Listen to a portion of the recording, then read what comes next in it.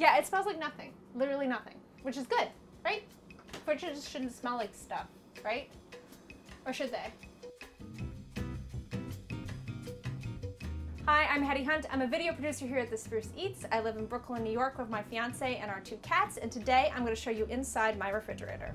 What are your general feelings about your fridge? Just tell me about your fridge. All right, so my refrigerator. I've lived in New York City now for almost 12 years.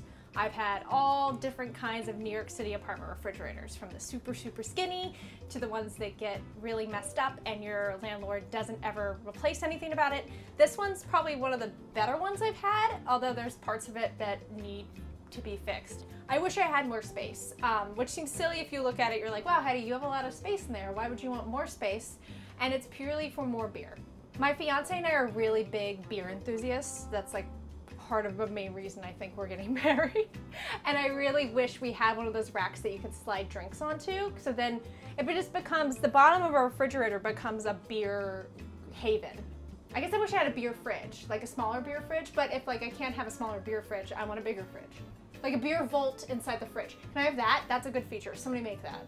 Dream refrigerator would be double doors that you just like open up like that. It's like, oh, freezer on one side, fridge on one side. I also, on the doors, I want a screen uh, so I can watch TV. I really like to watch TV when I cook. That's probably the most bougie thing I can think of that I would want in terms of a refrigerator. That would be sweet. Favorite food item right now in my refrigerator? Magnificent sauce, Magnif sauce, Magnific sauce from Trader Joe's. I got this recently. I saw on Instagram, I follow many Instagrams that break down Trader Joe's items, and I found this one and I love it. Usually I would make a mac sauce myself, but this is basically a mac sauce in a bottle. My fiance loves pickled jalapenos. I am kind of a wussy and they're too hot for me, but these are the hot and sweet ones. And I haven't been able to try these yet. I'm just gonna try them just to see. Okay, well, he liked them. That's really sweet. oh my God.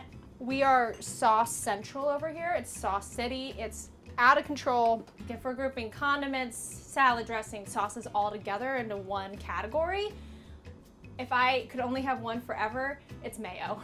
and it's good mayo. It's not like cheap, low-fat mayo and not off-brand mayo. It has to be Hellmann's mayo. There's nothing else. If you like Duke's, get out of here. Like, I don't care. I've included mayo as part like of a veggie dip tray before. That was bad. Don't do. I really do love mayo though. I do. And I did dip, used to dip veggies in it sometimes. It was bad.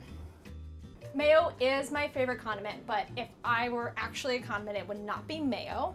I would be light ranch. Classic flavor, light on calories. Zesty and classic, so I would be light ranch.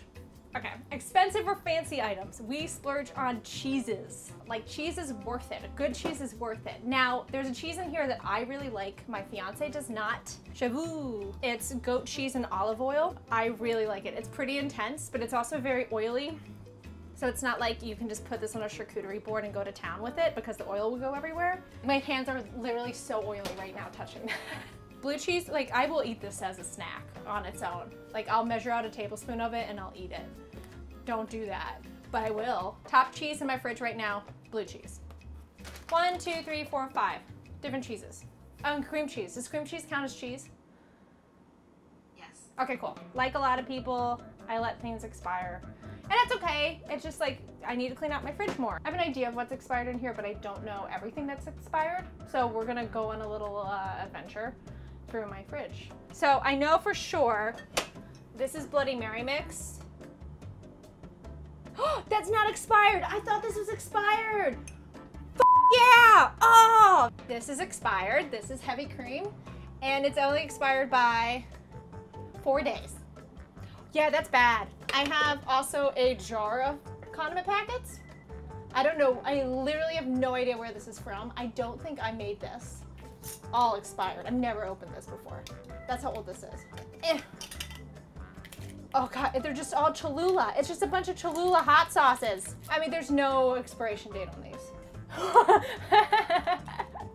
there's an expiration date. 10-10-2019. What does your fridge smell like? This is a weird question. I mean, has anybody ever asked you what your fridge smells like? It literally smells like nothing. And I don't know if that's because I did clean a little bit before you guys showed up, like slightly. Ow! Oh! Tons of ice trays are really big about ice trays, all different kinds of ice trays. So like big guys, little guys, the Titanic. If you don't have silicone ice cube trays, you're doing it wrong. And then I have the best things in the whole entire world. I have Eggos, I have popsicles, I have Trader Joe's frozen orange chicken, I have frozen french fries, and I have whiskey. All the best things are in the freezer. Cheers. We have a, a problem with power berries. And so we always need to have two bags of power berries. So we always have like a his and hers. We'll never be fair. Like he'll eat the entire bag and I'll never get any. I get frozen dumplings. Like I try to keep these fresh any way possible. I keep them in their bag. I put them in a Ziploc and you know airtight. Put them in the freezer, but they always just like tend to be freezer burned or go soggy. If you guys have any tips to help me fix this problem, like how do you guys store frozen dumplings after you've opened the bag? Wow, I got a lot to throw out after this. My go-to snack is pickles. If I ever want something to eat, it's not really making a snack. It's just like I like to eat pickles. I'm really upset because our grocery store got rid of the really big jars of pickles. In New York, they're really hard to find. My grocery store had them. I was living the life. And so I got a smaller regular jar of pickles. Oh my gosh. Do you guys know this trick? When you have a stuck jar, I don't need to go call my fiance in the other room because I'm a strong woman and I don't need a man to open a jar for me. You just put a rubber band on that lid and open it up. And if you guys don't know this trick, now you're gonna know it and now you can do it and never have to ask a guy again to open a jar for you. If this doesn't work, I'm gonna be upset. I can't get it. no! You skip this one. if you want. Just in here and Walker just opens it. What was the next oh, you got it. I spoke. Yee! See, guys? You don't need no man. These aren't great pickles. I did it! Alright, well that worked out. That was good. Whose fridge do you want to see inside of? Let me know in the comments below. Make sure to like and share and subscribe to the Spruce Eats for more videos. I'm going to go throw out all these expired items and I hope you guys have a good one.